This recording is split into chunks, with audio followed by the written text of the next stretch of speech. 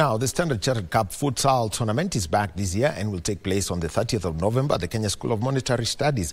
The seventh edition of the five-a-side futsal tournament was launched today as the bank celebrates its partnership with Liverpool FC and will involve 40 teams will battle it out for the ultimate prize, which is an all-expenses-paid trip to Anfield, the home of Liverpool FC. The tournament will involve a round-robin format in the group stage before the top two teams advance to the knockout stages. The Standard Chartered Cup is a competitive but fun 10-minute side, five-a-side futsal invitational tournament involving amateur teams to the community through our soccer clinics that we do.